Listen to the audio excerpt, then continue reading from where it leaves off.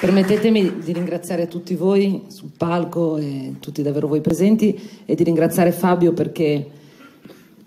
perché ha, insomma, credo anche con, insomma, con, con questa sua disponibilità a rispondere non in maniera superficiale ma profonda alle domande che gli sono state fatte ha dimostrato insomma, di dare un grande valore a questa giornata e assolutamente a questo premio. Grazie per essere venuto, perché i premi poi assegnati per corrispondenza non, non sono belli, lui è venuto venire a prenderlo e anche un po' a fatica, visto i suoi impegni, siamo riusciti a organizzare questa giornata anche se un po' in corsa. Grazie per quello che, che, ci ha detto. Io gli ricordo semplicemente che abbiamo fatto con diversi atleti, calciatori, qualunque tipo di, di, sport, ma anche personaggi dello spettacolo, la promozione della nostra città e di questa nostra Liguria con l'hashtag Genova nel cuore, per cui se ti capita da ovunque di metterlo, ovviamente ci aiuti e contribuiamo a dare quel segnale che giustamente diceva il procuratore di una Genova e di una Liguria, che ci sono, che reagiscono in vari modi anche con il talento sportivo. Detto questo, un po' sull'onda anche della commozione di prima, che credo sia stata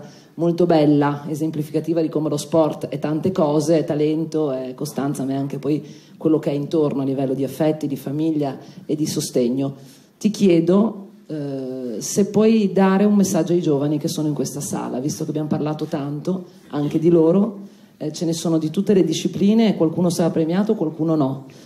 però ai giovani che sono qua e che quindi sentono sicuramente lo sport come qualcosa di importante, cosa ti senti di dire? Tu che alcune volte sei un grandissimo esempio, in altre magari eh, eh, insomma, in campo hai avuto anche qualche atteggiamento. Ecco, proprio per questo te lo chiedo, cosa ti senti di dire loro in maniera onesta? Ma onesta, sinceramente funziona, sì. E, beh, la cosa che mi hanno insegnato i miei genitori era la scuola io ovviamente sono stato aiutato perché comunque non, non potendo frequentare la scuola a livello normale, non essendoci, non essendoci mai, essendo, essendo, comunque osservato a livello nazionale, poi con vari tornei c'ero sempre meno, però ho voluto finire anche comunque, grazie all'aiuto loro, la scuola, eh, avere un diploma, perché comunque al giorno d'oggi è molto importante, quindi questo penso sia il primo passo. Lo so che ogni tanto io, io, stesso non ero molto contento di andarci, però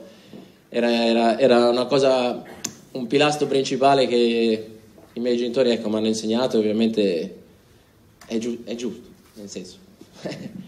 e poi, come in tutti gli sport, ci vuole tanta disciplina, tanta pazienza, tanto sacrificio, perché senza il sacrificio ovviamente non si va da nessuna parte, poi ognuno rincorre i propri sogni, non è detto che al giorno d'oggi tutti possono diventare i vari Federer, perché Federer ce n'è solo uno, Nadal ce n'è solo uno, quindi quando si fa una cosa, ecco, farla nel migliore dei modi, farla al 100%, poi ovviamente si hanno anche degli avversari, quindi ogni tanto è merito, dico io, che come ha detto Ilaria, sono una testa calda, gli avversari giocano contro di noi e vogliono vincere come noi, quindi molte volte merito dell'avversario, quindi ripeto, tanto sacrificio, pazienza, umiltà e poi ovviamente lottare tutti i giorni per, i, per i, propri, per i propri sogni e senza abbandonarli mai. Fabio Fognini, sportivo Ligure dell'anno 2018, grazie di cuore, grazie Fabio.